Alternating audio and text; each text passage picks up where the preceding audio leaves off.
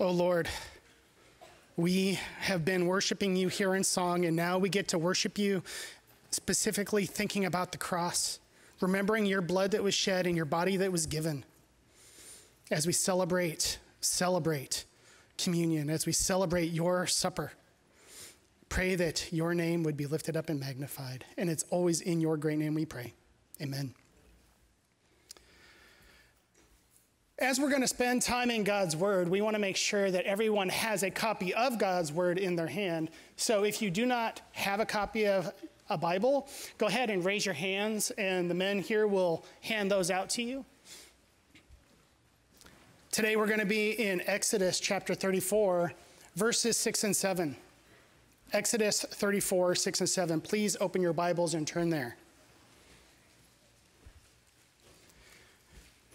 As you're turning there, you may notice here and in other places throughout the Old Testament, the word Lord is in all capital letters. Our English translations do this intentionally because this word is unique. Often the word for Lord, not all caps, is the Hebrew word Adonai. However, here the word translated Lord in all capital letters is the Hebrew word Yahweh. The word Yahweh is the personal name of the covenant keeping God of Israel. He first revealed himself as Yahweh when he appeared to Moses in a blazing fire in the midst of a burning bush. And since then, Moses has been privileged to be in the physical presence of Yahweh a number of times. And here, in this context, in Exodus chapters 33 and 34, Moses is back on top of Mount Sinai speaking with Yahweh. Moses is petitioning Yahweh to know him, to know his ways, and to see his glory. Moses longs for this intimacy, this exposure to Yahweh. In chapter 33, verse 18, Moses says, I pray you, show me your glory. And, and in the following verse, in verse 19, God responds, I will make all my goodness pass before you and will proclaim the name of Yahweh before you. And I will be compa- gracious to whom I will be gracious, and sh- show compassion on whom I will show compassion. God is going to proclaim the name of Yahweh. This is not simply stating the word Yahweh, He's going to proclaim and declare who He is, all His goodness, His nature, his character. God's character and his attributes are on display throughout all of Scripture. But here in verses uh, 6 and 7 of chapter 34, we get to see God proclaiming and declaring these things about himself. So Moses went down off the mountain, came back up the next morning, and that leads us into our passage this morning. Please follow along as I read Exodus chapter 34, verses 6 and 7. Then Yahweh passed in front of him, Moses, and proclaimed, Yahweh, Yahweh God, compassionate and gracious, slow to anger and abounding in loving kindness and truth, who keeps loving kindness for thousands, who forgives iniquity, transgression, and sin. Yet he will by no means leave the guilty unpunished, visiting the iniquity of the fathers on the children and on the grandchildren to the third and fourth generations. We don't have time to unpack everything here, so we are going to focus we're going to focus in on the middle of verse 7. Yahweh, who forgives iniquity, transgression, and sin, yet he will by no means leave the guilty unpunished. Yahweh forgives. That word forgives literally means to take up and carry away. And here in this verse, he forgives iniquity, transgression, and sin. Iniquity is wrongdoing or wickedness with the focus on the guilt that is incurred from doing so. Transgression is essentially a crime with the emphasis on the rebellious nature of the crime. And sin is simply missing the mark, falling short of the standard all of these recognize that there is a divine standard. There are requirements for holy living. There are things we ought to do and say and think, and there are things we ought not to do and say and think. Humanity falls woefully short of this divine standard.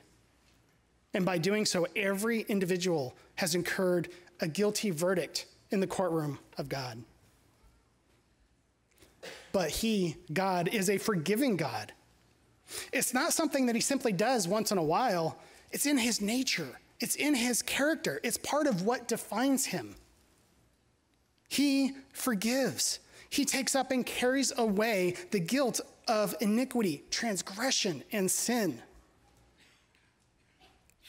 Looking back in the middle of verse 7, we also see, Yet he will by no means leave the guilty unpunished.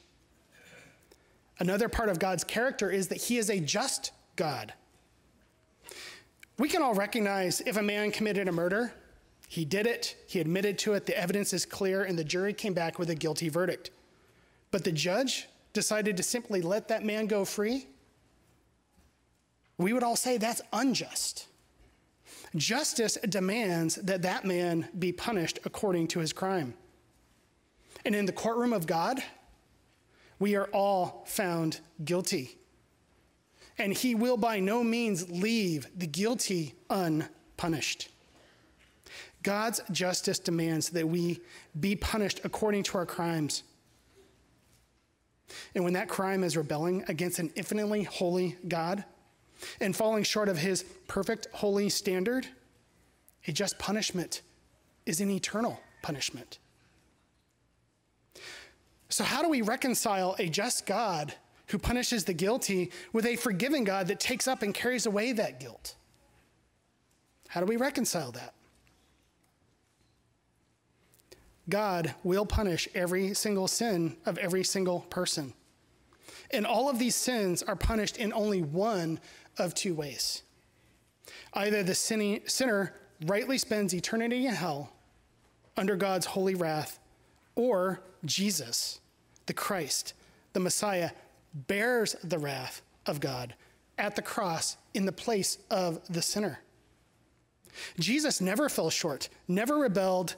He perfectly met God's holy standard. And in the greatest act of grace and mercy shown humanity, Jesus, the very Son of God, suffered the wrath of God at the cross and died. 2 Corinthians 5:21 tells us that God made him Jesus who knew no sin to be sin on our behalf so that we might become the righteousness of God in him. A forgiving God and a just God is perfectly reconciled at the cross. How does a guilty sinner obtain forgiveness? This forgiveness. Jesus tells us that it's for those that repent of their sins and believe in what he accomplished at the cross. In a moment, we're going to take a, a cracker and we're going to take a little cup of juice that represents the body of Jesus that he gave at the cross and the blood of Jesus that was shed there. And we're going to take these symbols and remember those things. However, this is a time only for believers, for those that have repented and believed. If you would, by your own admission, say that you don't believe the things that I've just said, that you've just heard, that you haven't repented of your sins, then we would simply ask that you would pass the tray by when it comes. However, Consider that you are only a heartbeat away from standing before God, where you will be found guilty and you will be punished accordingly. Please talk to the person who brought you, talk to me, talk to any one of the pastors. We'd love to discuss what it is to repent and believe in Christ. Believer, God declares about himself that he is a forgiving God and that all of your iniquity, transgression, and sin has been taken up and carried away and placed on Christ at the cross. And because of what Jesus has accomplished there, you will, on one glorious day, stand before God blameless with great joy. When your hearts are prepared, please take communion on your own.